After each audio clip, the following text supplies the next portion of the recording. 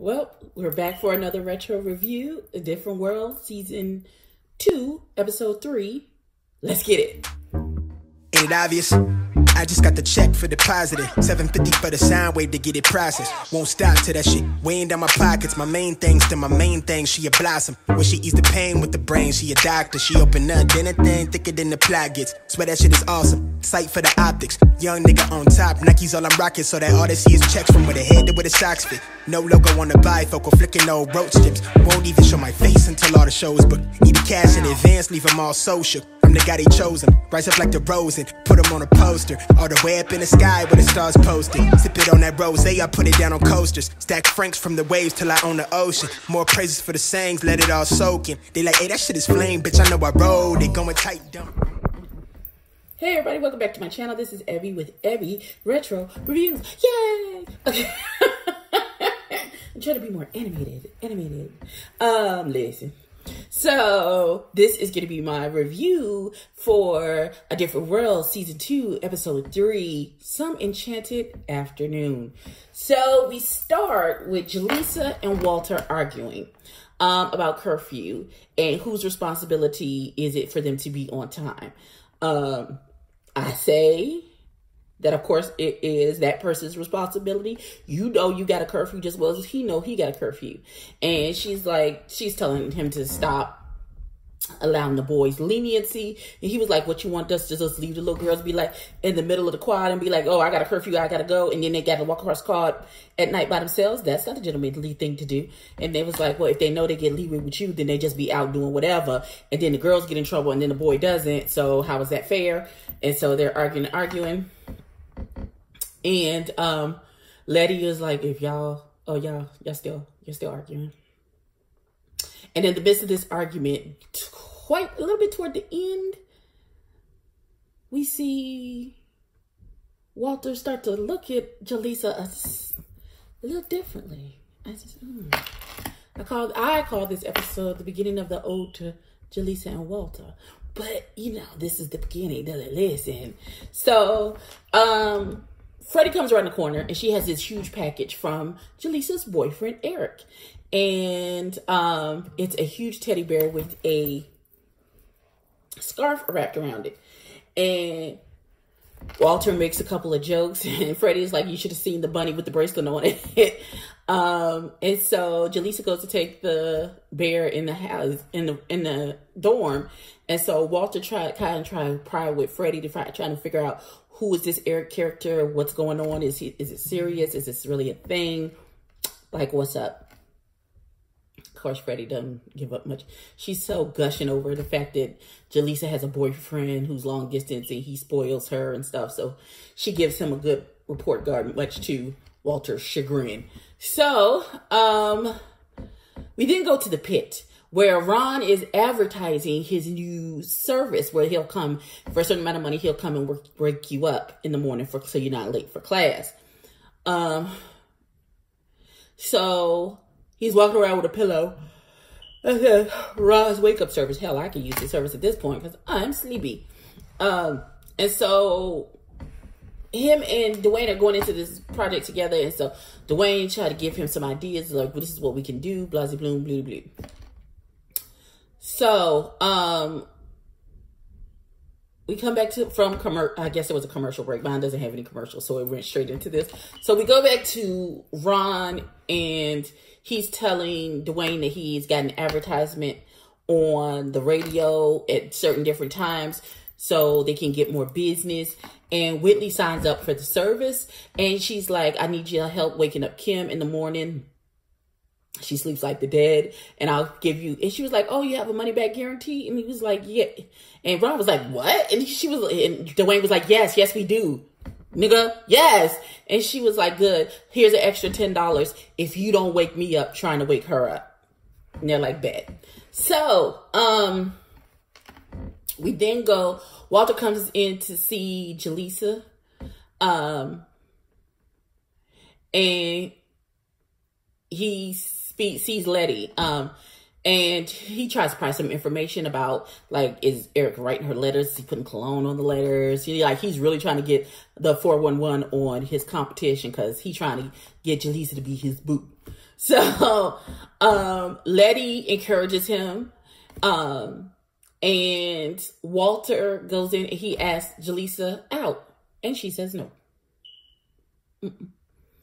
Um then Walter walks off. He takes it in stride. He walks off. Uh, we then go to the pit, and we'll, Lisa and Whitley are talking, and Whitley is so dramatic.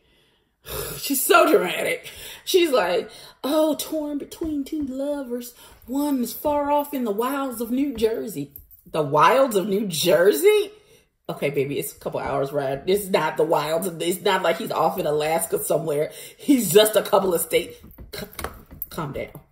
Calm, calm down. and so Walter comes back in and he talks to Jaleesa and he was like, you know what, we can we can like we don't have to go out like boyfriend girlfriend type of go out. We can go out as friends, you know, have a good time, blah blah blah blah blah. And he he was she was like, well, she was like, really? So if my boyfriend Eric was here, he would be allowed to go on this date. He was like, yeah, I might even bring me a date. And she was like, okay, okay. And she was like, fine. He's like, I do have to eat. We can go out. You know, just um pick me pick me up at seven and we'll and we'll go out tomorrow. And Friday at seven. And he was like, oh no, we can't go out at seven because that's what time people who date go out. He's like, we need to go out at five. Well, that's what time friends go out. Still light outside. And she was like, well, I have a four o'clock class can we make it 6.30? And he was like, okay, cool. A friendly 6.30.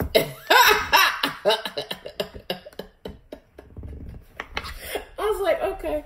I love Sinbad. In this role as Walter, like, yes, everything about him was yes, hilarious.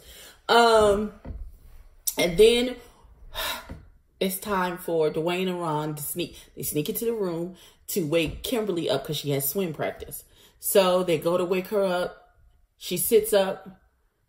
And as they're about to walk out, she falls back to sleep. She falls back down. Oh, okay. So there's like, okay, plan B. And they try and get her and stand her up. And they're like, swim practice, swim practice.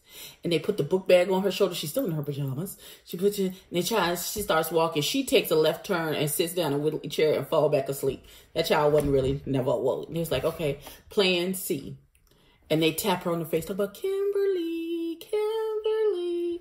And in the midst of them doing that, her alarm goes off. Like it sounds like like a fire alarm. Like it is a horrible alarm. Do you hear what I'm saying? It's terrible. So it's going off. Like this is so funny. I cackled like a fool at this. Like like they got caught in a bank stick up. So Ron, you know you got a fight or flight response. So Ron is standing up against the wall, frozen. And Dwayne is like, oh, he doesn't know which way.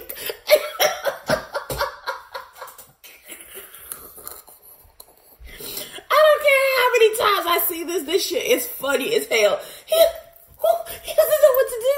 And then Whitley gets up out of her bed. They try to figure out how they get to gather themselves enough to try and get over to the alarm. It's like it's not plugged in. I don't know how to turn it off. Whitley gets out of her bed, doesn't take her sleep mask off, goes to turn the alarm off. They freeze, like like so she wouldn't know that they were there because she never took her mask off her face to see what was going on. She just quietly walks over and turns the alarm off. And then right as she's walking past, she turned around and put her hand out for her money because the whole point was you not to wake her up. Man, Jesus. That would listen, listen. That thing take me every time. We You don't know which way to go, God. Okay. So we then get to the big friendly date. Oh God, oh God. So um, they are talking, they're having a good time, they're reminiscing. Walter's telling funny stories. He's putting on the charm and stuff. So, you know, Walter asked a couple questions about Eric. And he was like, and he was like, he can't wait to find he was like something that said something about dating you, somebody like you would be amazing. He's like, not you, but somebody like you. He's like, I can't wait to deal with someone, you know, on that level. And she was like, Well, what about Brenda? And he was like, he's like, Brenda, who? She's like the one you took to the office party. He was like, oh yeah, she's nice. And she's like, and I know Renee can't, is the school nurse. She just can't wait for you to get sick. He was like, oh, well, I might sleep with my feet in the ice box this evening. I was like, cute. So, uh, this waiter comes by with this lobster Diablo, which you have to order a day in advance. And so, um, Walter thinking quick on his feet, he says, he goes to the waiter, let me holler at you before you deliver. He's first he says to the waiter, Hey sir, are you about to deliver our food to a different table? And he was like, No, sir, no signore. This is uh lobster diablo. You have to order a day in advance. He's like, Okay, so let me holler at you in the corner. He's like, So how much is gonna take you to convince you that we ordered this yesterday? And he's like, What about twenty five dollars? And what I said, Signore, here's your lobster Diablo. And so he bribed them to get the people food. And she was like, So you mean to tell me that you ordered lobster Diablo a day in advance? And he was like, Yeah, sure. And she was like, Well, why are these people about to go upside Enrico's head? Because he done gave away their food. Boy, I tell you what. And so they are talking and having a good time and they get up and they dance to me and Mrs. Jones. We got a thing going on. Wonderful. You see her, she exhales. Those of y'all who know what that means, you know what it means. She dances with Walter and she exhales. Um, and so then we, she, we go to the pit where Dwayne and Ron are counting up their profits from their successful weekend. And so far, they've made 200 and some dollars successfully in this business venture. And it's like, okay, we made 200 and some dollars. Only $2,000 more to go to get these motorcycles, helmets, and matching jackets. And then one of their friends come by and say, oh, I can't wait to see you at the Kappa house or somebody's house. I want to say it was a Kappa house. They're having a party. He's like, it's about to go down. And they are both exhausted because you know in order to get up that early to get up early enough to wake up other people and then still continue to do your classes during the day is taking a toll on them after a week. And so they're like listen i'm just too tired. I can't do this. He's like and him and dwayne come to the conclusion he's like you know we have enough money to afford two jackets and one hat and one helmet. We can lie about these damn motorcycles. And they was like sounds like a plan to me. Business over. Boom Which I thought is listen, you just after you when you get that tired, you just be like, fuck, y'all fuck this shit. Fuck, fuck, fuck, fuck all of this. Fuck all of this. Um, Jaleesa comes back from her date and tells Freddie she had a great time with Walter. And immediately, Freddie is so wishy-washy. Immediately, she's like, oh, poor Eric. I'm going to miss him. Wait a minute. We went on one day high and broke up with the boy already. And she's like, we went on one friendly date. I did not say that I'm now dating Walter and I'm le- and Eric and I are no more. That's not what's happening. And Freddie was like, mm-hmm, okay, okay, girl. And so Jaleesa starts to eat some of the leftover lobster and she's smiling and dancing. And the bear that Eric bought her is sitting on the bed. And she's like, shut up and mind your business. And that's how that episode ended. So once again, yet another great episode of A Different World. Listen, it's just going to get to get better. These like listen this is one of my most favorite shows. I can watch it over and over again. I think i want to do a retro review of my most favorite episode from the cosby show. I'm thinking about it because when i say like i quote it all the time like all of my friends send me clips every time something happens and, and um, the meme of the episode shows up, they send it to me because they know that is my very favorite episode of the Cosby Show. I'm thinking of doing just a one-off. Here's my favorite Cosby Show episode and do a review of that. But we'll see how that goes. Well, that is my uh, retro review of Some Enchanted Af- Late Afternoon uh, season three, episode two of A Different World. Please like, comment, and subscribe. Tell a friend to tell a friend. And I will catch you in the next one. Peace.